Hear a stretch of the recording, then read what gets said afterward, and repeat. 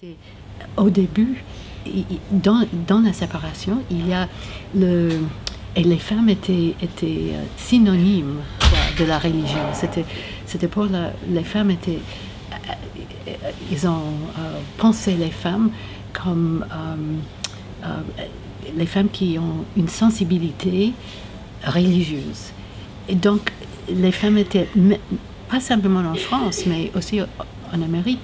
La différence est que en France, elle était l'ennemie de la République avant. Il y avait toujours euh, la distinc- distinction entre hommes-femmes, les sphères des hommes, des femmes, mais avec euh, la, la modernité est arrivée cette euh, distinction plus, plus euh, fixée. Durkheim, par exemple, qui parle de la- division de- du travail.